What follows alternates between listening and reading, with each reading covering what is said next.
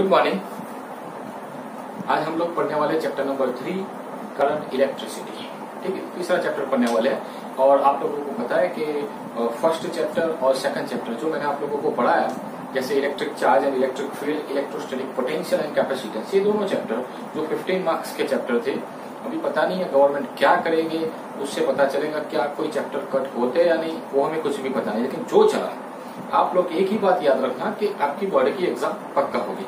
अब किस तरीके से प्रिपरेशन करना अभी पूरा दिन आप घर पे हो। तो आप छुट्टियों में हो, इसका मतलब ये नहीं कि एक वीडियो अर्ली मॉर्निंग में देख लिया, फिर उसे लिख दिया, जो लिखी हुई पीडीएफ है, उसे फोटा जो फ़ोटो लेके उसे भेज दिया, सबको बात खत्म। ऐसा नहीं, आपके पास अभी ऐसे समझ लो कि छुट्टियाँ है तो आपके लिए बहुत, आपके लक है ऐसे समझ लो। नहीं तो स्टूडेंट ट्वेल्थ साइंस के ये सोचते हैं कि कब टाइम मिले, कब पढ़े, हर साल यही होता है, लेकिन आपके पास टाइम ही टाइम है। तो जितना हो सके, घर पे हो तो ज़्यादा से ज़्यादा प्रिपरेशन करो। ठीक है अब ज़्यादा टाइम वेस्ट नहीं करते आज हम नया चैप्टर स्टार्ट करेंगे चैप्टर नंबर थ्री और ये बहुत ही अच्छा चैप्टर है। आप स्टार्टिंग से, मेरा फ़र्स्ट लेक्चर आपको पहले से पता है कि जब मैं पहला लेक्चर स्टार्ट करता हूँ, ज़्यादा वक्त नहीं लूँगा, थोड़ा टाइम थोड़ा वक्त लूँगा बट आप लोगों को पता है कि मैं इनिशियल में पूरा चैप्टर आपके दिमाग में पहले फिट कर देता हूँ, फिर चैप्टर स्टार्ट करता हूँ। चैप्टर शुरू करने से पहले ही आपको पता चलना चाहिए कि पूरा चैप्टर हम क्या पढ़ने वाले हैं। तभी चैप्टर में मज़ा आएगा आपको। कंटिन्यूस में आपको स्टेप वाइज पूरा चैप्टर अच्छे से समझाऊँगा। दस से बारह लेक्चर में ये चैप्टर भी खत्म कर देंगे, ठीक है? हाँ पहले फ़र्स्ट सेकंड चैप्टर से ये थोड़ा लेंथी चैप्टर है, थोड़ा बड़ा चैप्टर है। लेकिन हम जितना हो सके उतना कम लेक्चर में कंप्लीट कर देंगे इसे। तो आप कंप्लीट ध्यान रखना रेडियस और नो। आफ्टर लॉन्ग टाइम फिर से हम लेक्चर स्टार्ट कर रहे हैं। मंथली बीच में एक मंथ की तो गैप हो जाती है, कोई बात नहीं। अब चैप्टर तीन, जो इलेक्ट्रिसिटी हमें पढ़ना है, पूरा इलेक्ट्रिसिटी के बारे में बट इस करंट यू नो आप लोगों को पहले से पता है कि करंट क्या है। इलेक्ट्रिक करंट किसे कहते हैं? क्योंकि आप लोग स्टैंडर्ड टेन में पढ़ चुके हो। स्टैंडर्ड टेंथ में आप लोग इलेक्ट्रिक करंट के बारे में पढ़ चुके हो। उसमें ओम स्लो भी आया था। जो ओम स्लो हम रिपीट भी करेंगे, आप स्टैंडर्ड टेंथ में भी पढ़ चुके हो। उसमें रेजिस्टेंस क्या था? रेजिस्टेंस के बारे में भी आप स्टैंडर्ड टेंथ में पढ़ चुके हो। तो जो इलेक्ट्रिसिटी के बारे में आप स्टैंडर्ड टेंथ में पढ़ चुके हो, उसी के बारे में पढ़ना है। बट यहाँ हमें थोड़ा डिटेल में जाना है, क्योंकि आप वहाँ पे पढ़ते थे डेफिनेशन लेवल पे था, कुछ इजी लेवल पे रेजिस्टेंस था, लेकिन यहाँ पे थोड़ा उससे अप लेवल में है, इसलिए थोड़ा डिफरेंट भी कह सकते हैं। तो यहाँ पे करंट इलेक्ट्रिसिटी पूरी इलेक्ट्रिसिटी हमें समझना है। इलेक्ट्रिसिटी है क्या? ये करंट क्या है? करंट जैसे स्टेडी करंट भी होता है, जैसे फ्लो ऑफ़ वाटर होता है ना, उसी तरह से ये चार्ज का फ्लो होता है, उसी करंट कहते हैं। मान लो रियल लाइफ में आपने देखा होगा कहीं से वाटर फ्लो होता है, अभी मानसून डे से आप लोगों को ऑलरेडी दिखता भी होगा कि वाटर फ्लो हो रहा है। तो आप उसे कह सकते हो करंट कहते हो फ्लो ऑफ़ वाटर उसी तरह यहाँ पे इनसाइड द कंडक्टर जहाँ से करंट आपके घरों में जो इलेक्ट्रिसिटी है, जो आप कॉपर वायर यूज़ करते हो, उसमें क्या करता है? चार्ज फ्लो करता है। Flow of charge flow of water current यही flow of charge current electric current से। क्योंकि इलेक्ट्रिक चार्ज से जुड़ा हुआ है, इसलिए इलेक्ट्रिक करंट ठीक है? जैसे रियल लाइफ में आप इलेक्ट्रिसिटी की बात करो इलेक्ट्रिक करंट की तो आपने ट्रांसिएंट करंट भी देखा होंगे, जैसे अभी मानसून है तो आप लोगों ने देखा होगा बिजली गिरती है तो वो ट्रांसिएंट करंट कुछ थोड़ा सा करंट लेके आती है, फिर चली जाती है। लेकिन वो डेंजरस भी होती है। आप लोगों को पता है, कई इलाकों में ऐसा कहीं आपने सुना होगा न्यूज़पेपर में या मीडिया वगैरह, जो आप टीवी वगैरह देखते हो तो उसमें आपने देखा होगा कि ये जो ट्रांसियंट करंट है जो मानसून अभी देखा होगा ना, बारिश में होता है ना, जो बिजली की वजह से कई मतलब आपने सुना होगा कि भाई ये इतने ये एक्सपायर होगा इसको पकड़ लिया बिजली ने, ये पकड़ लिया। तो आप लोगों को समझ में आएगा भाई हाँ इतना सा ट्रांसिट करना है काफ़ी डेंजरस है। वो तो आप लोग बाहर निकलोगे तो पता चलेगा, ठीक है कभी कभार तो ये सब चीज़ें ट्रांसिट करंट होता है जो थोड़ा मतलब कुछ टाइम के लिए होता है। उसके बाद हम बात करते हैं इलेक्ट्रिक करंट की जो डेफिनेशन हम स्टैंडर्ड टेंथ में पढ़ते थे, वो अलग है। यहाँ पे कुछ डिफरेंट है तो वो भी मैं आपको समझाऊँगा। अब लॉजिक से आप समझ लेना कि पूरा सेमिस्टर थ्री जो पूरा इलेक्ट्रॉन पे ही पढ़ रहे हो electron is what one type of particle ये छोटा सा पार्टिकल है, जिसका mass 9.1 point one into ten raise to minus thirty one K G है। इतना इतना इतना छोटा सा पार्टिकल है, जिसे हम देख भी नहीं सकते, वही पूरा सेमिस्टर थ्री पढ़ा रहा है आप लोगों को क्योंकि आप लोग चैप्टर नंबर वन पढ़े, क्या था वो? इलेक्ट्रोस्टेटिक्स था। रियलिटी में आप पूरा इलेक्ट्रॉन का मैकेनिक्स पढ़ रहे हो। Electromechanics, electronics, electromechanics. मतलब कि इलेक्ट्रॉन का मैकेनिक्स अब इलेक्ट्रॉन जो चार्ज है, उसका मैकेनिक्स बनना मैकेनिक्स में दो ब्रांच होती है एक स्टेटिक्स होती है डायनेमिक्स होती है। तो आप देख सकते हो कि जब इलेक्ट्रॉन को स्टेटिक्स से जोड़ दिया जाए इलेक्ट्रोस्टेटिक्स बनता है। और इलेक्ट्रॉन को डायनेमिक्स से जोड़ दिया इलेक्ट्रोडायनेमिक्स बनता है। तो इलेक्ट्रोस्टेटिक्स और इलेक्ट्रोडायनेमिक्स दो अलग अलग ब्रांच हुई।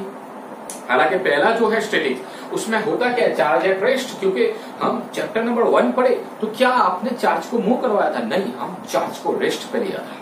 पूरे चैप्टर में हम चार्ज इनिशियली चार्ज कितने टाइप के होते हैं? चार्ज की प्रॉपर्टी क्या है? चार्ज को करीब लाने से मान लो दो चार्ज करीब है तो दो पॉजिटिव चार्ज रिपल्सन होता है अट्रैक्शन होता है, ये फोर्स एक्ट करता है, ये फोर्स इतना एक्ट करता है, बहुत सारे चार्ज है तो कितना फोर्स एक्ट करेगा? वो चार्ज के आसपास का एरिया का जो इलेक्ट्रिक फ़ील्ड था, ये वगैरह वगैरह हम पढ़े, लेकिन कहीं भी चार्ज को हमने मोशन नहीं करवाया। ये आपका फ़र्स्ट चैप्टर था। तो लॉजिक से आप समझो कि जो चार्ज को रेस्ट पे रखते हैं, वो इलेक्ट्रोस्टेटिक्स होता है। आप अच्छे से समझ रहे हो ठीक है? अब सेकंड चैप्टर में जो उसका पोर्शन था, उसमें हमने क्या किया कि जब एक चार्ज रेस्ट पे होता है और दूसरे चार्ज को हम मूव करवाते हैं, हालाँकि सारे चार्ज फ्लो नहीं कर रहे। एक को रेस्ट पे रखा, दूसरे को मूव करवाया। तो एक पोटेंशियल क्रिएट हुआ, जो इलेक्ट्रो इलेक्ट्रोस्टैटिक पोटेंशियल था या पोटेंशियल एनर्जी के फॉर्म में स्टोर हुआ, ये सब चीज़ें हमने सेकंड चैप्टर के आधे पोर्शन में पढ़ी। बाकी का जो आधा पोर्शन था, उसमें कैपेसिटेंस था। Capacitance is what you know कि चार्ज को आप कहीं पे स्टोर करना चाहते हैं तो कैपेसिटर बनाया हमने। तो ये सब चीज़ें थी कि chapter number one chapter number two दोनों में चार्ज रेस्ट पे ही मान लेते हैं। और चार्ज रेस्ट पे हो तो हम इसे क्या पढ़ते हैं? इलेक्ट्रोस्टेटिक इलेक्ट्रोस्टेटिक्स मतलब कि पहला और दूसरा, दोनों चैप्टर आपने इलेक्ट्रोस्टेटिक्स पढ़ा। समझ रहे हो ना अच्छे से समझना मैं पहले ही बता रहा हूँ आज छोटा सा लेक्चर होगा, कम टाइम होगा, सिर्फ़ इंट्रोडक्शन होगा, लेकिन बहुत कुछ चलेगा। ठीक? आगे बढ़ते हैं रफ्तार से।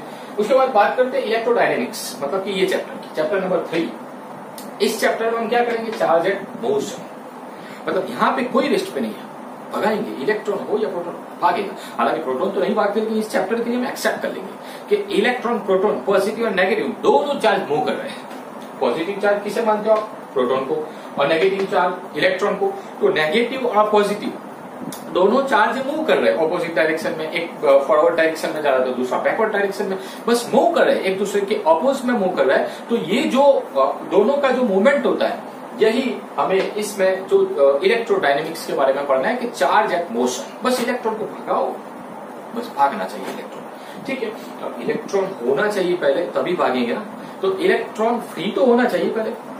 समझ रहे ना? आप लोग इलेक्ट्रॉन होंगे तो उसे भगाएँगे ना। इलेक्ट्रॉन अगर कहीं बॉन्ड में है, जैसे केमिस्ट्री में पढ़ो कोवेलेंट बॉन्ड आता है वंडरवॉल्स बॉन्ड आता है तो इलेक्ट्रॉन अगर बॉन्ड में है तो उसे तो हम नहीं भगा सकते। तो बेसिकली हमें अगर इलेक्ट्रॉन को ही मूव करवाना है इलेक्ट्रॉन के मोशन के बारे में ही पढ़ना है तो इलेक्ट्रॉन बॉडी में पहले से होना चाहिए फ्री इलेक्ट्रॉन और फ्री इलेक्ट्रॉन ना ही इंसुलेटर में होते हैं फ्री इलेक्ट्रॉन ना ही सेमीकंडक्टर में होते हैं तो सिर्फ़ और सिर्फ़ फ्री इलेक्ट्रॉन कंडक्टर में होते हैं। दैट मीन्स इस चैप्टर में पूरे चैप्टर में हम कंडक्टर लेंगे। बिकॉज़ ऑफ़ ये कंडक्टर है वो फ्री इलेक्ट्रॉन सिर्फ़ उनके पास फ्री इलेक्ट्रॉन है। इंसुलेटर सेमीकंडक्टर के पास नहीं है।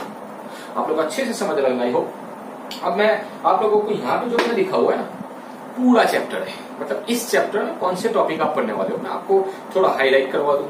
तो आपको अच्छे से समझ पाएँगे नेक्स्ट गोल क्या है। इसके बाद सर क्या स्टार्ट करने वाले हैं। इसका कॉन्सेप्ट क्या है, अच्छे से समझना। मैं आपको पहले इलेक्ट्रिक करंट के बारे में बताऊँगा। पहले, पहली थियरी आपकी इलेक्ट्रिक करंट की है। अब आप कहोगे हम स्टैंडर्ड टाइम में पढ़े थे, लेकिन वो नहीं।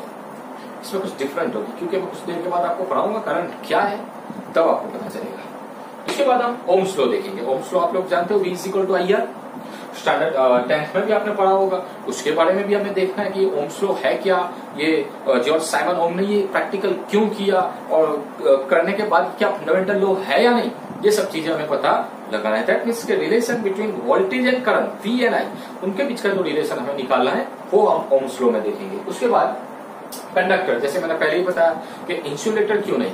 सेमी कंडक्टर क्यों नहीं? सिर्फ़ कंडक्टर क्योंकि कंडक्टर है वो फ्री इलेक्ट्रॉन सिर्फ़ कंडक्टर के पास ही तो फ्री इलेक्ट्रॉन है, इसलिए उसे ही यूज़ करेंगे। इंसुलेटर सेमी कंडक्टर को नहीं, लेकिन उन दोनों को क्यों नहीं? ये भी हम समझेंगे। उसके बाद आप देख सकते हो रेजिस्टेंस जैसे मैं बता रहा हूँ, देखते रहना। रेजिस्टेंस रेजिस्टेंस के बारे में नॉर्मली तो आप पढ़ चुके हो टेंथ में। रेजिस्टेंस के सीरीज़ एंड पैरेलल कनेक्शन भी आपने टेंथ में किए होंगे, लेकिन यहाँ पे कुछ डिफरेंस है। हैवी लेवल के नेटवर्क आएँगे, उसमें सीरीज़ पैरेलल हमें करना है। तो थोड़ा डिफ़िकल्ट टेबल आएगा बट डिफरेंट होगा। ये रेजिस्टेंस के बारे में हमें पढ़ना है। रेजिस्टेंस रियलिटी में है क्या? वो भी तो हमें समझना है, ठीक?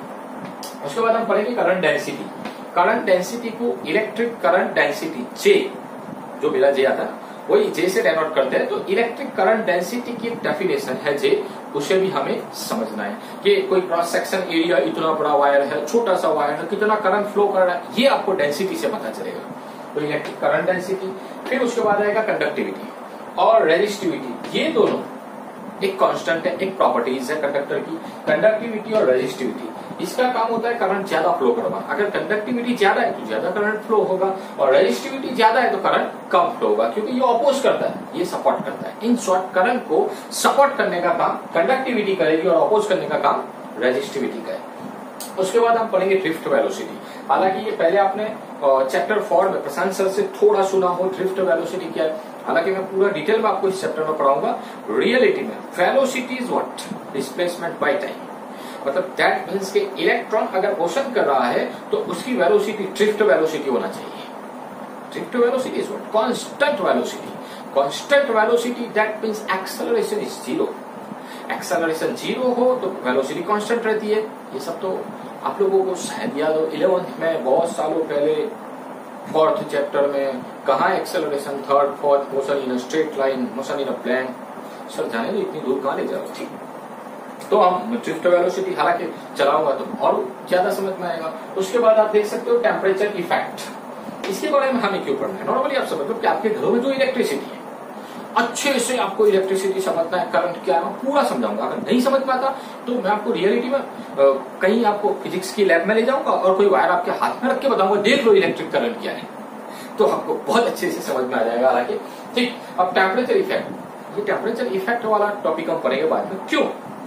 कई मरतबा ऐसा होता है कि सीजनेबल जैसे टेम्परेचर प्लस माइनस होता रहता है मानसून है या समर डेज़ है तो 45, 46 टेम्परेचर अप डाउन रहता है। तो जो प्रॉपर्टीज़ जो आप यूज़ कर रहे हो जिसमें से करंट पास आउट हो रहा है तो वो जो मटेरियल है वो मटेरियल हो सकता है कि टेम्परेचर की इफ़ेक्ट की वजह से कंडक्टर है तो इंसुलेटर बन जाए।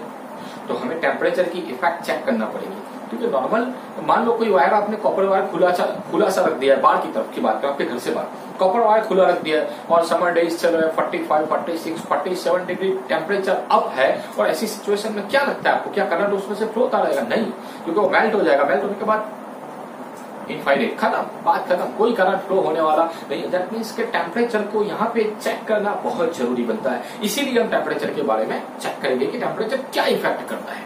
उसके बाद मोबिलिटी आएगा। Mobility that means mobile mobile का मतलब होता है कि चार्ज एट मोशन ये जो भाग रहे हैं ना चार्ज उसे हम मोबाइल कहते हैं। मोबाइल चार्ज मोबिलिटी होता है, जो रियलिटी में आपको बताएगा कि कोई इलेक्ट्रिक फ़ील्ड की वजह से जिस स्पीड से चार्ज मूव कर रहा है, उसे ही मोबिलिटी कहते हैं। मोबिलिटी म्यू एक छोटी सी डेफिनेशन है। बड़ी लंबी थियोरी नहीं है, छोटी सी डेफिनेशन उसके बाद हम पढ़ेंगे कार्बन रेजिस्टेंस कि रियल लाइफ में आप लोग सोच रहे हो सर क्या रेजिस्टेंस की होने की वजह से क्या करंट तो कम हो जाता है एनर्जी भी लॉस हो जाती है। तो क्या रेजिस्टेंस अच्छी बात है? रेजिस्टेंस होना चाहिए या नहीं होना चाहिए? तो आप लोग सोचो कि रेजिस्टेंस के बिना तो आपकी लाइफ भी सर्वाइव नहीं करती। आप सोचो, आपके सामने कोई रेजिस्टेंस नहीं है तो आपको मज़ा भी नहीं आएगा। रेजिस्टेंस होना चाहिए। तो रेजिस्टेंस कई। मैं तो वैसे आपको सिर्फ़ समझा रहा हूँ। हालाँकि हम प्रैक्टिकली बात कर रहे हैं, लेकिन यहाँ की मैं बात कर रहा हूँ, जो करंट पास हो रहा है जिस वायर में, उसमें रेजिस्टेंस होना ज़रूरी है, क्योंकि सभी डिवाइसेस आपके घरों में जो है क्या सब में ज़्यादा करंट नहीं चाहिए? कुछ डिवाइसेस ऐसे हैं जिसमें थोड़ी सी एनर्जी चाहिए थोड़ा सा करंट चाहिए तो रेजिस्टेंस ज़्यादा भी होना चाहिए। तो कई मरतबा रेजिस्टेंस इंपॉर्टेंट भी रहता है, ठीक है? तो हम उसमें one type of resistance two type के होते हैं। वायर वाउंड होता है कार्बन होता है। हालाँकि वायर वाउंड के बारे में डिटेल सर शुरू हो गए समझ रहे हो ना? मैं तो बस स्टार्ट हो गया।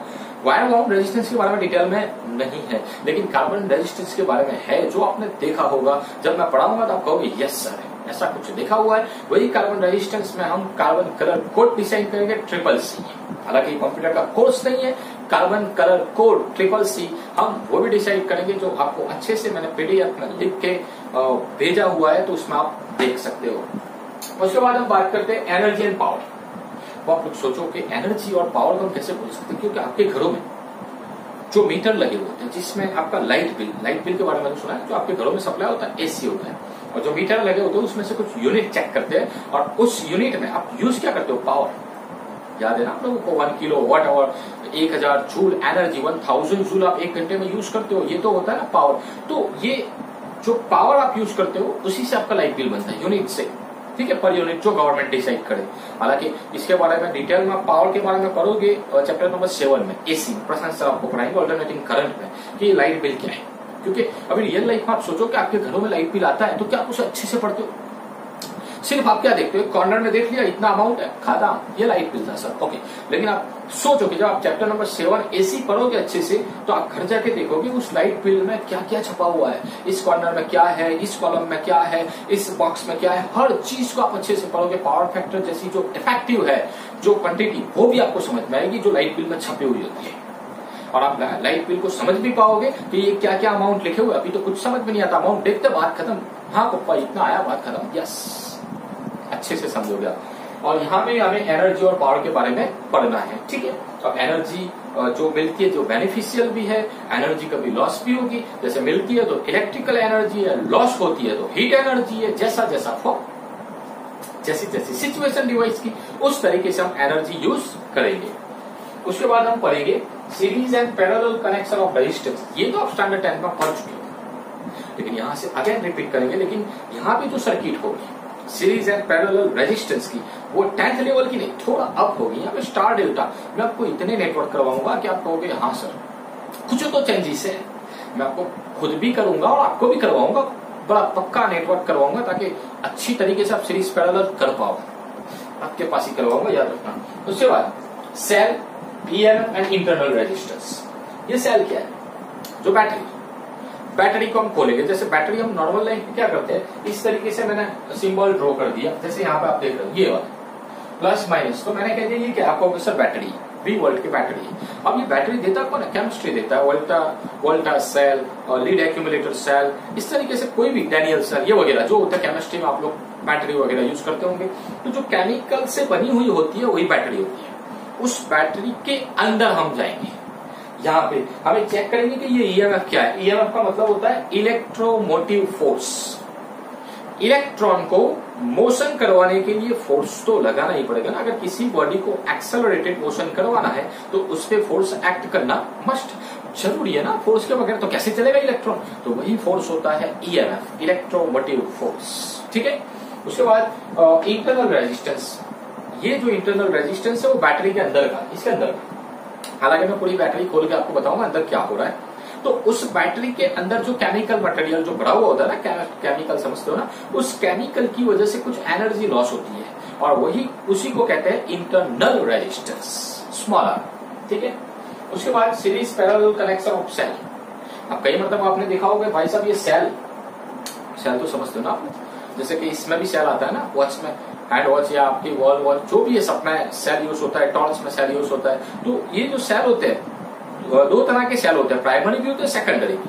प्राइमरी दैट मीन्स वट जो सिर्फ़ डिस्चार्ज हो, जैसे कि इसमें है, अभी जो सेल वो यूज़ होगा, फिर उसे फेंक देंगे, फिर नया लगाएँगे, लेकिन सेकेंडरी जो होता है, वो चार्ज भी होता है।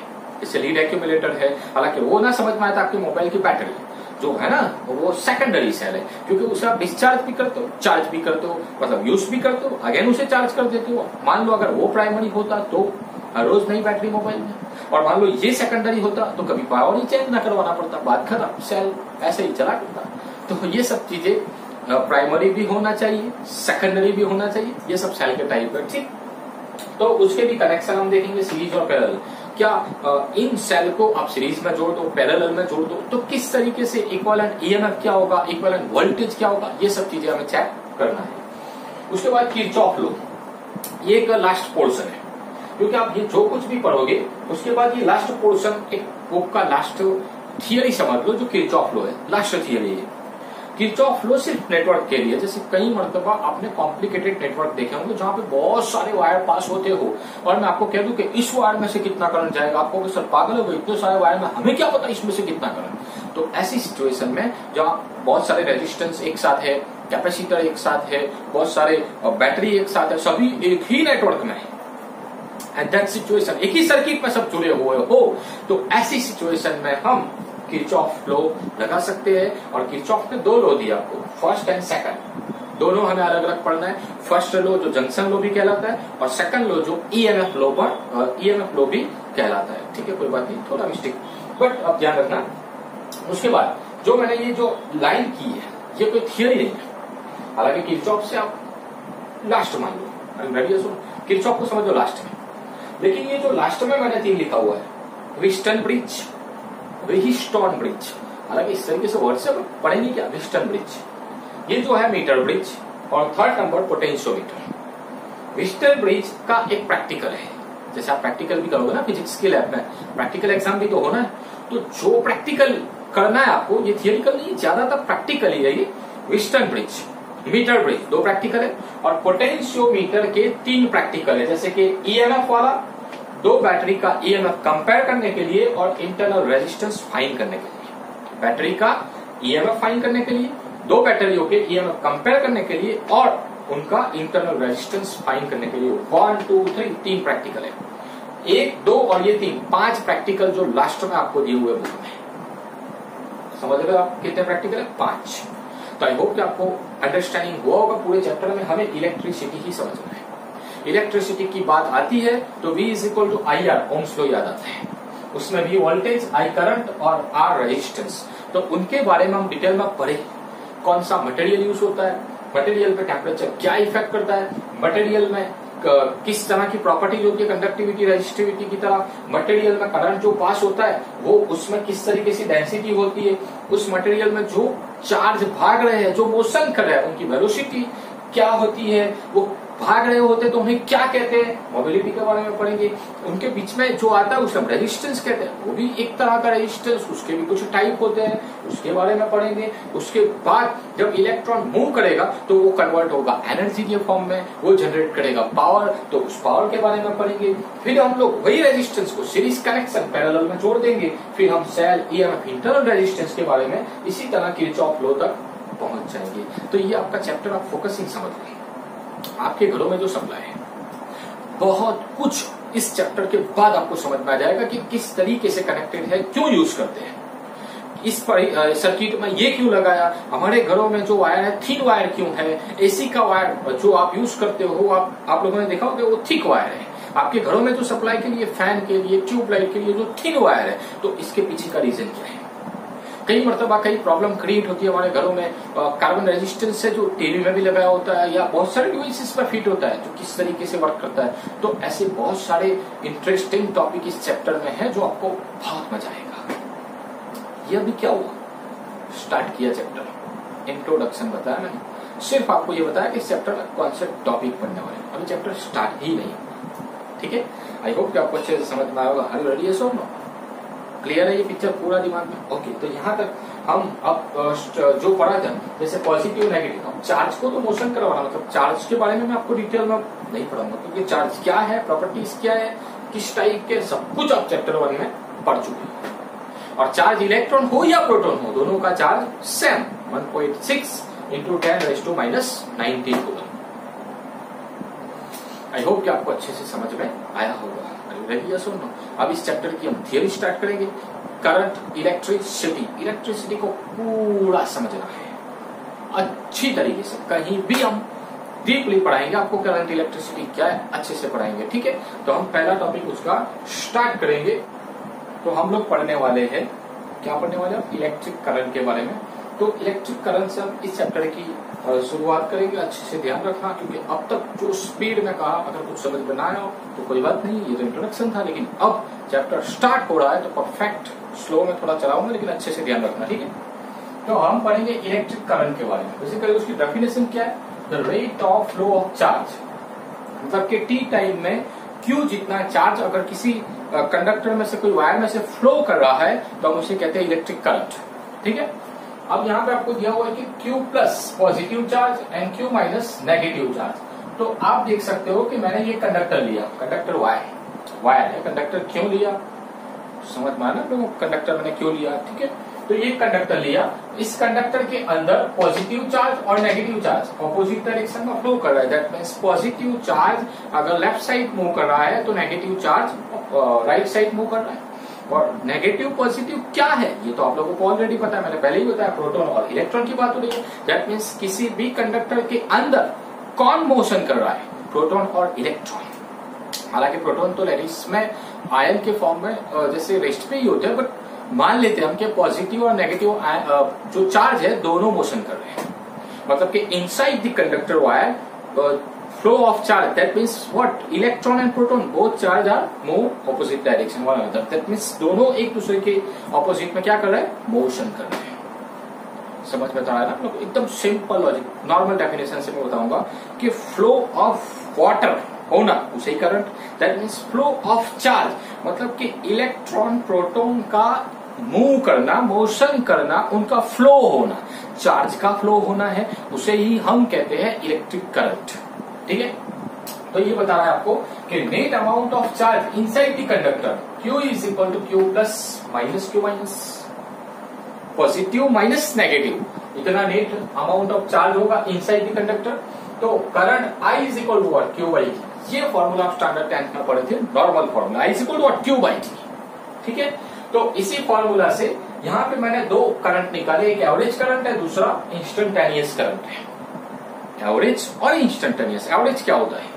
डेल्टा टी टाइम में delta Q amount of charge flow करेगा तो एवरेज करंट सिग्मा आई ये जो सिंपल होता है ना एवरेज का होता है सिग्मा तो sigma I is equal to delta Q by delta T delta Q that means amount of charge and delta T time interval कितने टाइम इंटरवल में कितना अमाउंट ऑफ़ चार्ज फ्लो कर रहा है? ये आपका एवरेज करंट है.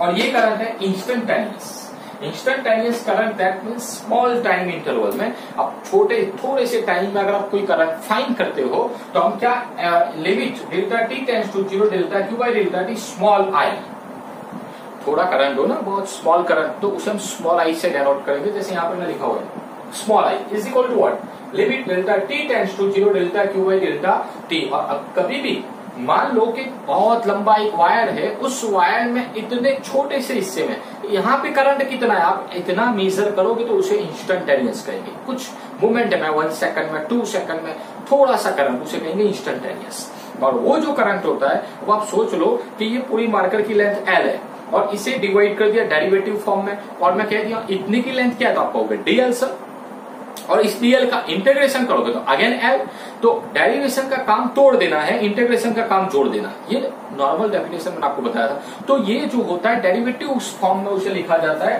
small charge D Q small time D T तो instantaneous current is equal to what I is equal to D Q by D T that means charge Q का time के respect में derivation यदि आपको क्या देता है? इंस्टेंटेनियस करंट देता है। समझ रहे हो अच्छे से आप लोग? ठीक। अब यूनिट की बात करते हैं। नॉर्मल है कि आप लोगों को ऑलरेडी ये तो पता ही होगा कि इलेक्ट्रिक करंट का यूनिट क्या होता है? एम्पियर ये एम्पियर यूनिट आप लोगों ने पढ़ा होगा स्टैंडर्ड टेंथ में तो नॉर्मल नॉर्मल अभी कुछ, मैंने आपको करंट के बारे में नया कुछ नहीं बताइए स्टैंडर्ड टेंथ का ही चल रहा है। मैं यहाँ आपको बताऊँगा क्या चीज़ है, ठीक? तो एम्पियर उसका यूनिट है और दूसरा यूनिट है यहाँ से चार्ज पर टाइम देख रहे हो ना चार्ज पर टाइम तो चार्ज का कुलम और टाइम का second coulomb per second that means यहाँ पे दो यूनिट बनेंगे, एक एम्पियर दूसरा कुलम पर सेकंड बनेगा। उसके अलावा, यहाँ पे देख सकते हो आपके इलेक्ट्रिक करंट इलेक्ट्रिक करंट कौन सी क्वांटिटी है? स्केलर या वेक्टर तो अगर दो ही ऑप्शन आपके पास है, आपको कोई पूछ लेता है इलेक्ट्रिक करंट स्केलर है या वेक्टर है तो आपको स्केलर कहना है। लेकिन आपको ऐसा पूछ ले कि इलेक्ट्रिक करंट स्केलर वेक्टर या टेंसर क्वांटिटी है तो उसे आप टेंसर कहोगे, क्योंकि इलेक्ट्रिक करंट एक और आप लोग अब तक पढ़े, मैंने आपको चैप्टर नंबर फोर में पढ़ा था इलेवन साइंस में टेंसर क्वांटिटी क्या है। चलो, मैं आपको नॉर्मल डेफिनेशन बता दूँ कि स्केलर क्वांटिटी हम किसे कहते हैं? Only for magnitude require only for magnitude without direction हम पूरी डिटेल ले सकते हैं। मान लो वेट की बात करते हैं मास की। तो मास में मतलब मेरा मास क्या है? आपका 50 60 केजी तो बात खत्म, कौन सी डायरेक्शन में? मैटर नहीं है। तो सिर्फ़ मैग्नीट्यूड से काम चल जाता है तो स्केलर वेक्टर क्या है? जिसमें मैग्नीट्यूड से काम नहीं चलेगा, आपने किसी बॉडी पे फोर्स लगा तो फोर्स वेक्टर क्वांटिटी किस डायरेक्शन में फोर्स लगा भाई? इस तरफ़ या इस तरफ़ या इस तरफ़? That's important that means require magnitude with direction vector quantity but tensor is what tensor quantity क्या है? जिसमें मैग्नीट्यूड और डायरेक्शन दोनों चाहिए। देखो। तो आप लोग सोचोगे, सर वेक्टर में भी तो वही रूल्स था। टेंसर में भी वही रूल्स है। उसमें भी मैग्नीट्यूड विथ डायरेक्शन इसमें भी मैग्नीट्यूड विथ डायरेक्शन लेकिन लेकिन डिफरेंस क्या है दोनों में? तो फैक्टर क्वांटिटी में डायरेक्शन का होना मस्ट है। और टेंसर क्वांटिटी में डायरेक्शन का होना शुड मस्ट नहीं है। आप ऐसा मान लो कि अगर इजीली आप यूज़ कर रहे हो इलेक्ट्रिक करंट तो आप उसे स्केलर ही मान लो। बट कई मरतबा ऐसी सिचुएशन होती है कि हमें उसे टेंसर कहना पड़ता है। कैसी सिचुएशन नॉर्मली मैं लॉजिक से आपको बता दू, जैसे मान लो ये कोई करंट वायर है, ऐसे। यहाँ से एक वायर पास हुआ। मान लो यहाँ से 10 एम्पियर करंट अंदर की तरफ़ आया। तो मैं आपको कह दू, इस तरफ़ पाँच एम्पियर करंट गया तो इस तरफ़ कितना गया? तो आप लॉजिक से बता सकते हो ना? दस अंदर आया पाँच ऐसे गया तो ऊपर कितना जाएगा? पाँच एम्पियर जाएगा। तो आप सिंपल लॉजिक से आपने बता दिया कि सर दस आया तो पाँच पाँच निकल गया तो बात खत्म। लॉजिक से। लेकिन मैं आपको पूछ लू कि ऐसी सिचुएशन में ये एरो था? दो आंसर दिया आपने। मैंने ये एरो बनाया तो आपने पाँच एम्पियर बताया। अगर मैं एरो ना बनाता लॉजिक सिंपल ठीक है, मैं यहाँ भी कोई एरो नहीं रखता, यहाँ भी कोई एरो नहीं रखता, और आपसे पूछ लेता, ये दस एम्पियर करंट है, इस वायर में कितना, इसमें कितना? तो आप कहोगे, सर।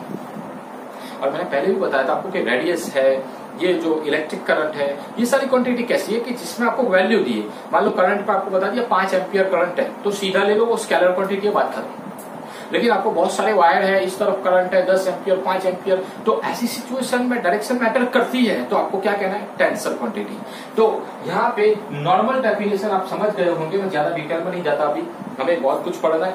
मैं सिर्फ़ आपको इतना बताऊँगा कि वेक्टर क्वांटिटी में डायरेक्शन मस्ट है, होना ही चाहिए। हालाँकि टेंसर में मस्ट नहीं है। रिक्वायर होगी तो ठीक है, नहीं तो स्कैलर से चला लेंगे। ठीक है? तो electric current is a tensor quantity उसके बाद बात करते हैं कि I is equal to D Q by D ये वाला लिखा ना मैंने। तो यहाँ पे आप डीक्यू को सब्जेक्ट कर दो तो क्या लिख सकते हो? आई इंटू डी टी तो D Q is equal to I D T अब दोनों तरफ़ इंटीग्रेशन करोगे तो मैंने पहले ही बताया कि स्मॉल पोर्शन डीएल था इंटीग्रेशन किया तो पूरा एल हो गया। तो डीक्यू का इंटीग्रेशन करोगे तो चार्ज क्यू हो जाएगा, पूरे वायर का चार्ज हो जाएगा। तो Q is equal to integration to I D simple logic यही है कि आप इस फॉर्मूला को देखो और इस फॉर्मूला को, इन दोनों में डिफरेंस क्या है? यहाँ चार्ज का टाइम के रिस्पेक्ट में डेरिवेशन है तो आपको क्या देता है? करंट देता है। और यहाँ आप देख सकते हो कि आई का टाइम के रिस्पेक्ट में इंटीग्रेशन है जो आपको चार्ज देता है। तो सिचुएशन ये है कि अगर कोई एग्जांपल में आपको चार्ज दिया हो तो आप करंट फाइन कर सकते हो। अगर कोई एग्जांपल में आपको करंट दिया हो तो आप चार्ज भी फाइन कर सकते हो। चार्ज दिया है करंट फाइन करना है तो डेरिवेशन करेंगे और करंट दिया है चार्ज फाइन करना है तो इंटीग्रेशन फाइन करेंगे। यस और अच्छे से मैंने आपको पीडीएफ में एग्ज़ाम्पल लिखा भी है तो आप देख सकते हो दोनों एग्ज़ाम्पल अच्छे से मैंने सॉल्व भी किए तो मैं यहाँ पे ज़्यादा टाइम वेस्ट नहीं करूँगा। और दो एग्ज़ाम्पल आपको दिए मान लो चार्ज टाइम के साथ two T square plus one formula से चेंज हो रहा है इक्वेशन से तो T is equal to two second में करंट क्या होगा? तो आप ये फॉर्मूला अप्लाई कर देना। मैंने यहाँ पे लिखा हुआ है कि इसका डेरिवेशन करना, उसमें टाइम पुट कर देना। कितना दिया हुआ है तो आपको करंट मिल जाएगा। उसी तरह आई की इक्वेशन हो टाइम के साथ current t plus one equation से चेंज होता है तो t is equal to one two two second यहाँ पे आपको टाइम इंटरवल ड्यूरेशन दिया होगा इतने सेकंड से इतने सेकंड तक, क्योंकि इंटीग्रेशन में लिमिट लेना पड़ेगी। ठीक है? तो वन टू टू सेकंड कितना चार्ज होगा तो आप क्या करोगे? इस इक्वेशन का इंटीग्रेशन करोगे तो आपको चार्ज मिलेगा। तो मैं ज़्यादा डीपली नहीं लूँगा, सिर्फ़ इतना बताऊँगा कि चार्ज है डेरिवेशन करो करंट मिलेगा। करंट है इंटीग्रेशन करो चार्ज मिलेगा। आई से क्यू ला सकते हैं क्यू से आई ला सकते हैं। सिंपल रेडी रेडी सुनो ठीक. अब मैं बात कर रहा था कंडक्टर इंसुलेटर और सेमीकंडक्टर तो हालाँकि इंसुलेटर जैसे कि वुड ग्लास रबर ये सब चीज़ें हैं जिसमें फ्री इलेक्ट्रॉन नहीं होते। क्या इसमें कभी करंट पास हुआ? आप लोग नॉर्मल लाइफ में, आप ये सब प्रैक्टिकली पढ़ते हो यार, ऐसा नहीं कि मैं रट्टा बनवा रहा हूँ। आप रियल लाइफ में देखो, क्या? वुड में से कभी करंट पास हुआ? नहीं. तो वो सारे इंसुलेटर है जिसमें फ्री इलेक्ट्रॉन नहीं होते। क्योंकि उसमें कॉर्बिडेंट गैप एनर्जी जो वैलेंस बैंड कंडक्शन बैंड के बीच में जो एनर्जी गैप होती है ना, बहुत लार्ज होती है। हालाँकि ये सब क्या है सर केमिस्ट्री में आएगा। लेकिन अभी सिर्फ़ इतना बताऊँगा इंसुलेटर में फ्री इलेक्ट्रॉन नहीं होते। अब बात करते हैं सेमीकंडक्टर की। तो सेमीकंडक्टर में कौन सा एग्ज़ाम्पल आता है? कार्बन सिलिकॉन जर्मेनियम अब कार्बन सिलिकॉन जर्मेनियम में आपको पता होगा कि ये सारे ऐसे सेमीकंडक्टर है जिसकी लास्ट ऑर्बिट में चार फ्री इलेक्ट्रॉन होते हैं। याद है ना आप लोगों को? लेकिन यूँ एक एटॉम में चार होते हैं, दूसरे एटॉम में चार होते हैं तो वो आपस में कोवेलेंट बॉन्ड से जुड़ जाते हैं। हालाँकि उसमें कोई, आखिरकार कोई फ्री इलेक्ट्रॉन नहीं बचता। तो ज़ीरो कैलविन इनिशियल जो आपका room temperature initial zero kelvin temperature में सेमीकंडक्टर में इलेक्ट्रॉन कोवेलेंट बॉन्ड में होते हैं। हालाँकि कोई फ्री इलेक्ट्रॉन होता नहीं है। इसी वजह से हम उसे यूज़ नहीं करते।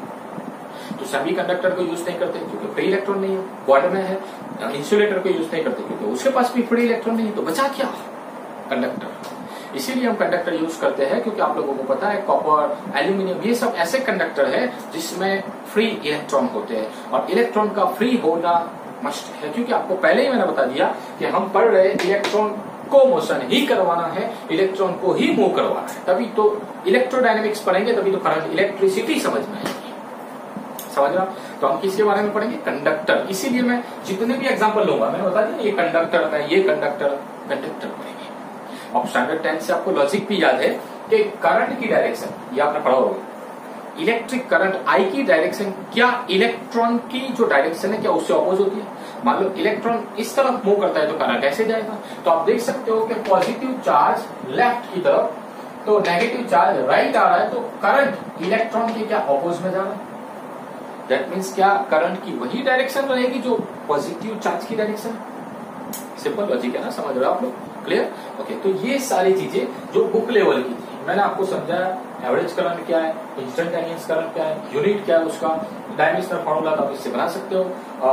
स्कैलर या टेंसर क्वांटिटी भी कहते हैं, उसे टेंसर क्वांटिटी है क्या? चार्ज से करंट करंट से चार्ज फाइन करना। दो एग्जांपल यहाँ पे मैंने दिए, दो आपको अंदर करवाए, चार एग्जांपल हुए, ये सब चीज़ें आपने पढ़ी। ये होता है बेसिकली इलेक्ट्रिक करंट लेकिन लेकिन, आप लोग सोचोगे, सर, ये भी तो टेंथ तक पता था, नया क्या है? अभी तक आपको समझ में नहीं आया what is current what is electric current मैं अब आपको इस फिगर से समझाऊँगा। अच्छे से ध्यान रखना।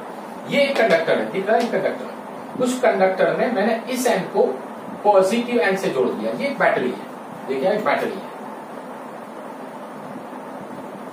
कैसी बैटरी है? वी वोल्ट की बैटरी कौन देता है केमिस्ट्री हालाँकि आप पढ़ेंगे थोड़ा थोड़ा ई एम एफ़ वगैरह में बट ज़्यादातर आप केमिस्ट्री में पढ़ोगे तो ये जो बैटरी है ये बैटरी में केमिकल एनर्जी होती है। कौन सी एनर्जी होती है? केमिकल एनर्जी आप समझते हो ना? केमिकल एनर्जी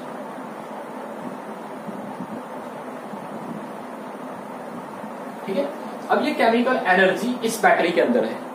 वहाँ से ये जो एंड है पॉजिटिव एंड जहाँ पे प्रोटॉन पॉजिटिव चार्ज रहते हैं। अब मैं कुछ डिफरेंट लैंग्वेज में समझाऊँगा, आपको ध्यान रखना, क्योंकि अब जो चलेगा ना, पाँच मिनट में, वो बहुत फास्टली दस मिनट में चलेगा, लेकिन बहुत इंपॉर्टेंट है। ये पॉजिटिव एंड है, जहाँ पे पॉजिटिव रहते हैं पॉजिटिव चार्ज रहते हैं। ये नेगेटिव एंड है, जहाँ पे नेगेटिव चार्ज रहते हैं। यहाँ से पॉजिटिव चार्ज मूव करने लगेंगे एनर्जी लेकर। वो एनर्जी होती है क्यूवी। कितनी एनर्जी? क्यूवी। जबकि जो बैटरी से एनर्जी ली, वो एनर्जी लेके भाग रहे हैं। कौन? Positive charge. एनर्जी कहाँ से लाए बैटरी से। कौन सी? Chemical energy. अब उस एनर्जी को उठाया। अब वो एनर्जी लेके भागे। कौन भागे? Positive charge. वो पॉजिटिव चार्ज एनर्जी लेके भाग रहे हैं। अब यहाँ से एनर्जी लेकर इस एंड तक आए? तो सिंपल लॉजिक है। ये पॉजिटिव है, इस तरफ़ नेगेटिव है तो क्या पॉजिटिव टू नेगेटिव क्या एक एक्सटर्नल इलेक्ट्रिक फ़ील्ड जनरेट हो जाएगा? बट अरे इलेक्ट्रिक फ़ील्ड जनरेट होगा ना बैटरी की वजह से। पॉजिटिव टू नेगेटिव तो ये पॉजिटिव टू नेगेटिव एक इलेक्ट्रिक फ़ील्ड है। यहाँ से चार्ज सारी एनर्जी लेकर आए। कितनी? क्यूवी जितनी। समझ रहे हो ना आप लोग क्यूवी एनर्जी कहाँ से आई? याद करो chapter number two potential energy जब एक चार्ज को दूसरे चार्ज के करीब लाते, कितनी होती है? क्यूवी पोटेंशियल एनर्जी वही है ये। हालाँकि और डिटेल में आपको अच्छे से समझ में आएगा जब मैं ये चलाऊँगा ये बट बेटर है हाल इतना मान लो कि यहाँ से बैटरी से पॉजिटिव चार्ज इतनी एनर्जी लेके मोशन कर रहे हैं। और यहाँ से इतनी एनर्जी लेके यहाँ तक आए तो इस कंडक्टर के अंदर जो प्रोटॉन इलेक्ट्रॉन थे, सबको एनर्जी दे दी। अब एग्ज़ाम्पल के लिए मैंने मान लो एक इलेक्ट्रॉन एक प्रोटॉन लिया तो यहाँ पे प्रोटॉन है, यहाँ पे इलेक्ट्रॉन है। ये एनर्जी आए, दे दी। अब जैसे ही इलेक्ट्रॉन प्रोटॉन को एनर्जी मिलेगी, वो लेकर एनर्जी फ्लो करेंगे। तो इलेक्ट्रॉन इस तरफ़ मूव करेगा और प्रोटॉन इस तरफ़। अब इलेक्ट्रॉन प्रोटॉन जब मोशन करने लगेंगे फ्लो करने लगेंगे, आपस में एक दूसरे से तो हो सकता है उनके बीच में कुछ टकराव हो जाए, उनके बीच में आपस में कुछ एक्सीडेंट हो जाए तो उसकी वजह से कुछ एनर्जी लॉस हो जाए, वही रेजिस्टेंस होता है। अभी थोड़ा समझा, आगे पूरा डिटेल में आएगा। तो मान लो इलेक्ट्रॉन और प्रोटॉन मूव कर रहे हैं। अब ये जो एनर्जी यहाँ से लेके निकले, ये पॉजिटिव चार्ज जब यहाँ से फ्लो करके बाहर आते हैं तो उनकी एनर्जी ज़ीरो होती है। कितनी होती है? ज़ीरो दैट मीन्स यहाँ पे बहुत ध्यान से समझना क्या इस बैटरी से जितने चार्ज निकले, क्या वो ज़ीरो हुए? नहीं। मैं आपको लॉजिक से समझा रहा हूँ। इनसाइड द कंडक्टर बहुत सारे प्रोटॉन इलेक्ट्रॉन होंगे। मैं कोई फिक्स रेशियो नहीं बताता इतने हैं या इतने हैं। बट एग्ज़ाम्पल के तौर पर बताता हूँ। मान लो इस बैटरी से 50 इलेक्ट्रॉन निकले। Sorry 50 proton positive electron positive charge निकले। तो 50 चार्ज यहाँ से क्यू भी एनर्जी लेके फुल एनर्जी के साथ। रनिंग कर रहे, भाग रहे भाग रहे भाग रहे, यहाँ तक आ गए। वो 50 प्रोटॉन यहाँ तक आए। फिर यहाँ से जैसे बाहर आए, उनकी energy zero that means proton कम नहीं हुए, एनर्जी ज़ीरो हुई। मतलब उनके पास जो क्यूवी एनर्जी थी, वो ज़ीरो हुई। जब यहाँ से बाहर निकलेंगे तो वो सारे प्रोटोन वापिस यहाँ तक आ जाएँगे। दैट मीन्स 50 निकले थे 50 वापिस आ गए। तो वेस्ट क्या हुआ? ओनली फॉर एनर्जी तो आप लोग सोचो एनर्जी गई कहाँ? गई कहाँ एनर्जी क्योंकि यहाँ से क्यूवी लेके निकला, बाहर निकला तो ज़ीरो तो यहाँ यूज़ हो गई। आपके घरों में यूज़ हुई ना? ट्यूबलाइट में बल्ब में जैसे कि एसी फ़ैन जो भी कहीं भी आपने घरों में यूज़ करती यही सिचुएशन सर्किट आपके घरों की चलती है। यहाँ से एनर्जी लिया यूज़ कर दिया ज़ीरो हुआ अगेन एनर्जी लिया, फिर यूज़ किया ज़ीरो हुआ। तो हो रहा है क्या? इस कनेक्टिंग वायर में ये जो पॉजिटिव चार्ज है, वो फ्लो कर रहे हैं, उसे ही हम कहते हैं electric current I that means electric current I what electric current वो ही है जो अमाउंट ऑफ़ चार्ज फ्लो कर रहे हैं एनर्जी लेके that means electric current is one type of energy one type of energy flow energy जो flow कर रही है, उसे ही आपने इलेक्ट्रिक करंट नाम दिया। ये किसी ऑब्जेक्ट का नाम नहीं है, किसी वायर को खोल के देख लिया हाँ ये करंट है। ऐसा कुछ भी नहीं है, सिर्फ़ जो पॉजिटिव चार्ज होते हैं, वो एनर्जी लेके भागते हैं तो हम उसे कहते हैं इलेक्ट्रिक करंट जो एनर्जी फ्लो करते ये इलेक्ट्रिक करंट की ओरिजिनल डेफिनेशन है one type of energy flow यहाँ पे किसी ऑब्जेक्ट का, कोई पार्टिकल का नाम नहीं है इलेक्ट्रिक करंट की एनर्जी का फ्लो जो हो रहा है, उसे इलेक्ट्रिक करंट कहते हैं, ठीक है? आई होप कि आपको अच्छे समझ में आएगा। अगेन जब यहाँ पे आते हैं बैटरी से फिर एनर्जी क्यों हुई फिर एनर्जी लेके भागे, फिर ज़ीरो हुई, फिर बढ़ इस तरीके से कंटिन्यूस फ्लो करते रहते है। आपको अच्छे से समझ में आएगा इलेक्ट्रिक करंट रियलिटी में क्या है। तो हो सकता है ये पूरे टॉपिक में से ये वाला टॉपिक आपको यहाँ तक पक्का समझ में आ गया हो। अब जो लास्ट वाली बात करते हैं ओम्स जॉर्ज साइमन ओम नाम के एक साइंटिस्ट थे, भाई साहब। वो अपने लैब में बैठे हुए थे। तो एक सिचुएशन आई फिक्स सिचुएशन जैसे कि जब वो लैब में प्रैक्टिकल कर रहे थे, उन्होंने चेक किया कि current I is directly proportional to voltage otherwise आप ऐसे भी कह सकते हो voltage is directly proportional to current I that means कि आप वोल्टेज इंक्रीज करोगे तो करंट बढ़ेगा और करंट इंक्रीज करोगे तो वोल्टेज बढ़ेगा। तो उन्होंने सिर्फ़ उनके प्रैक्टिकल में इतना बताया। वहाँ फिक्स टेम्परेचर था। वहाँ पे टेम्परेचर फिक्स था जब वो प्रैक्टिकल कर रहे थे। तो उन्होंने बताया कि वोल्टेज और करंट दोनों एक दूसरे के इनवर्सली प्रोपोर्शनल डायरेक्टली प्रोपोर्शनल है। मतलब कि करंट और वोल्टेज दोनों डायरेक्टली प्रोपोर्शनल है वोल्टेज बढ़ेगा तो करंट बढ़ेगा। आपने एक वोल्ट बढ़ा, एक एम्पियर करंट बढ़ा, दो वोल्ट बढ़ा, दो एम्पियर करंट बढ़ा, तीन वोल्ट बढ़ा, तीन एम्पियर करंट बढ़ा, जैसे जैसे वोल्टेज इंक्रीज हो रहा है, वैसे वैसे करंट भी इंक्रीज हो रहा है। ठीक है? तो वी प्रपोजनली आई बाद में उन्होंने प्रपोजनली सिंबल निकाल कर एक कांस्टेंट लगाया, जो V is equal to I R R जो था वो कांस्टेंट था। और उस कांस्टेंट का नाम दिया इन लोगों ने रेजिस्टेंस ठीक है? ये जॉर्ज साइमन ओम ने जो प्रैक्टिकल किया था तब जाके ये। जैसे कि वोल्टेज क्या चीज़ है, वो तो आपको रियलिटी में पता है। जैसे मैं नॉर्मली आपको ये पूरे चैप्टर में जो आप इलेक्ट्रिक करंट पढ़ोगे अभी थर्ड चैप्टर में। आपके घरों में जो सप्लाई आता है, वो करंट ही है नो डाउट बट ये जो करंट पढ़ो ना, वो normal milli ampere micro ampere में आप पढ़ो जैसे आप प्रैक्टिकल करोगे ना लैब में तो कई मरतबा कोई वायर मैन आपने टच कर लिया तो आपको थोड़ा सा झटकाएगा उसमें ज़्यादा कोई डैमेज कुछ होने वाला आपके जीवन में नहीं है। लेकिन आप रियलिटी में, मान लो छह वोल्ट का वोल्टेज आपको सप्लाई दे दूँ, या आपको 200 वोल्टेज दे दूँ तो आपको डिफरेंस आपको समझ में आता है, सर 200 वोल्ट में। आपके प्राण पक्षी मतलब आप चल जाओ चल बसोगे पता नहीं चले जाओगे। तो ये सब चीज़ें होती है कि वोल्टेज जितना ज़्यादा दोगे, उतना ज़्यादा आपको नुकसान होने वाला है। तो ये सब चीज़ें वोल्टेज से आपको समझ में कि वोल्टेज और करंट एक दूसरे के प्रपोजनल है डायरेक्टली प्रपोजनल है जैसे वी बढ़ेगा आई बढ़ेगा वी बढ़ेगा आई बढ़ेगा। और एक कॉन्स्टेंट लगाया जिसे नाम दिया रेजिस्टेंस तो R is equal to what V by लेकिन याद रखना, ये V R is equal to V by I जो दिखाई दे रहा है। R not depend to ratio of voltage and divide by current मतलब कि resistance R V by I के रेशियो पे डिपेंड्स नहीं करता, वैसे ही, जैसे कैपेसिटेंस क्यू बाय वी के रेशियो पे डिपेंड्स नहीं करता। कैपेसिटेंस क्यू बाय वी के रेशियो पे डिपेंड नहीं करता। उसके लिए कुछ फॉर्मूला लाए थे। Epsilon zero A upon d याद है ना वो पैरेलल प्लेट कैपेसिटर वाला।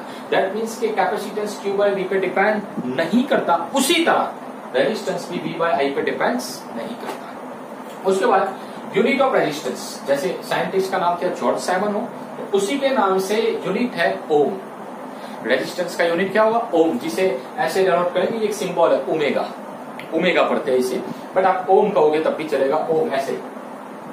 ऐसे ओम, ठीक है? तो ये रेजिस्टेंस का यूनिट है, उसका डायमेंशनल फॉर्मूला आप बना सकते हो, इस फॉर्मूला से। वोल्टेज का 12 माइनस थर्टी वन और करंट का ए वन तो आप इससे बना सकते हो 12 माइनस थर्टी टू।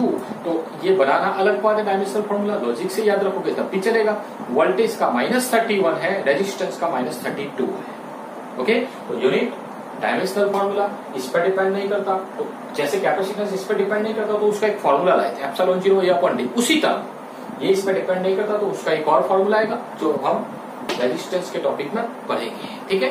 जो स्टैंडर्ड टाइम में आप पढ़ेंगे रो एल बाई ए वाला फॉर्मूला जो बाद में प्रूव करने वाले तो ये सब बातें बताई। उसके बाद साइमन ओम नाम के साइंटिस्ट ने बताया कि वी आई का जो रिलेशन था, वो जो ग्राफ मिला, वो स्ट्रेट लाइन ग्राफ था। वी वर्सेस आई का जो ग्राफ था, वो स्ट्रेट लाइन दिखा। क्योंकि आपने एक वोल्ट बढ़ाया तो एक एम्पियर करंट बढ़ा, दो वोल्ट बढ़ाया तो दो एम्पियर करंट बढ़ा। तीन वोल्ट बढ़ाए तो तीन एम्पियर करंट बढ़ा जैसे जैसे वोल्टेज इंक्रीज हो रहा है सेम उसी तरह करंट इंक्रीज हो रहा है। और दोनों इक्वली इंक्रीज हो रहा है, साथ में दोनों इक्वल है तो स्ट्रेट लाइन ग्राफ मिलेगा अब स्ट्रेट लाइन ग्राफ मिला तो ये जो आपको दिखाई दे रहा है, ये वाला, इतना पोर्शन उसे कहते हैं स्लोप अब स्लोप स्लोप को क्या कहते हैं? एम स्लोप तो याद है ना तो इसका एक फॉर्मूला मैथ्स वालों को पता होगा y equal to m x plus c हालाँकि ये समझ में तो ऐसा मतलब एम को एम जो है स्लोप है, अब इसे कहेंगे टेन थीटा ये टेन थीटा जो है ना, उसे ही स्लोप कहेंगे। अब आप सोचो कि ये जो आपको दिखाई दे रहा है, उसमें मैंने ये लाइन पास की और ये लाइन तो यहाँ पे जो एंगल अंदर की तरफ़ दिख रहा है, वो थीटा एंगल है। वो एंगल थीटा तो tan theta is equal to what opposite upon adjacent तो delta V by that means tan theta जो आपने फाइंड किया इस ग्राफ में, वो कितना delta V by I but V by is equal to what resistance तो आपने जो स्लोप फाइंड किया क्या, वही आपको रेजिस्टेंस देता है। मतलब कि v बाय आई का, v वर्सेस आई का जो ग्राफ होगा, उसका जो स्लोप फाइंड करोगे, वो आपको v ऑलवेज क्या देगा? रेजिस्टेंस देगा। R is equal to delta V by I मतलब जैसे जैसे डेल्टा वी का इंक्रीज होना, क्या वैसे वैसे स्लोप इंक्रीज होगा? जैसे इतना स्लोप है तो डेल्टा वी इतना ही है। अब आप सोचो डेल्टा वी इंक्रीज होगा तो ये स्लोप भी तो इंक्रीज होना है। तो आर इंक्रीज होगा।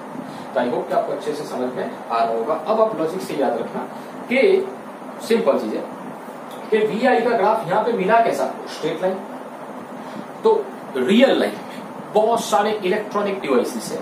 कुछ डिवाइसेस ओम स्लो को फॉलो करते हैं ओबे करते हैं। जैसे कि मान लो, अगर उस डिवाइस में वी आई का ग्राफ स्ट्रेट लाइन है तो उस डिवाइस को ओमिक डिवाइसेस कहेंगे। और कुछ डिवाइसेस ऐसे हैं, जैसे कि आप चैप्टर नंबर 14 में पढ़ोगे डायोड ट्रांजिस्टर और tunnel diode gallium arsenide solar cell में यूज़ करते हैं। ये सारे जो डिवाइसेस है, उसमें वी वर्सेस आई का ग्राफ कहीं भी स्ट्रेट लाइन नहीं है। कुछ डिफरेंट ही है।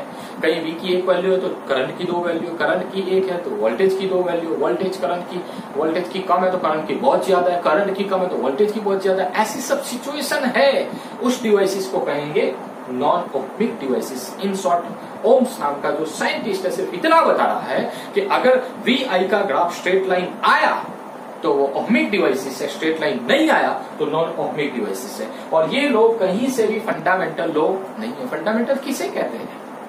Law of conservation of energy हर जगह अप्लाई हो। Of conservation of charge of conservation of linear momentum of conservation of angular momentum ये सब फंडामेंटल हर जगह पे पूरे यूनिवर्स में इक्वल ही अप्लाई होते हैं। और ये वाला जो था, आप देख रहे हो कि इस चैप्टर में पढ़ रहे हो तो ये ओम्स लॉ ऑबे यहाँ पे फॉलो कर रहा है। और चैप्टर नंबर फोर्टीन में जाओगे तो ओम्स लॉ खत्म। मतलब कि ये फंडामेंटल नहीं है, सिर्फ़ उसकी लैब के लिए था, इस टॉपिक के लिए था। हालाँकि हर जगह अप्लाई हो, ऐसा लो नहीं है। तो ये आपको इनिशियल में थोड़ा थोड़ा समझ में आया होगा, इस चैप्टर का फोकसिंग क्या है। तो मैंने आपको पूरे चैप्टर के टॉपिक बताए चैप्टर में इलेक्ट्रिक करंट क्या है, उसके दो एग्जांपल दो पीडीएफ के मतलब चार एग्जांपल और इलेक्ट्रिक करंट का एक ग्राफिकल मतलब कि आपको इमेजिंग करके बताया कि किस तरीके से करंट क्या चीज़ है रियलिटी में क्या है, वो आपको बताया, और मैंने फिर आपको ओम स्लो के बारे में बताया। तो ये सिंपल थोड़ा थोड़ा मैंने अभी कुछ भी नहीं चलाया। ये जो था नॉर्मल लेवल का था टेंथ लेवल का था इंट्रोडक्शन लेवल का था, ये चैप्टर थ्री स्टार्ट हो चुका है। आज के लेक्चर में। अब ये अच्छी तरीके से पढ़ना है और आगे बढ़ेंगे, लेकिन याद रखना पहला लेक्चर जिसको समझ में आया पूरा चैप्टर समझ पाएगा। हालाँकि इसमें समझ में नहीं आया तो कुछ भी नहीं आएगा। तो अगर नहीं समझ में आता तो आप कॉन्टेक्ट भी कर सकते हो और बिल्कुल ही समझ में नहीं आता। वीडियो फिर से रिपीट कर लो, कोई फ़र्क नहीं पड़ता, आपके पास टाइम है। ठीक है? तो अच्छे से चैप्टर स्टार्ट हो चुका है। अब ज़्यादा टाइम नहीं लूँगा। फिर मिलेंगे नेक्स्ट लेक्चर में। आगे चैप्टर को बढ़ाएँगे पढ़ते रहना। अच्छे से पढ़ते रहना। कहीं भी प्रॉब्लम क्रिएट हो तो आप मुझे पूछ सकते हो व्हाट्सएप से या कॉल करके। ठीक है? नेक्स्ट लेक्चर में फिर मिलेंगे। Thank you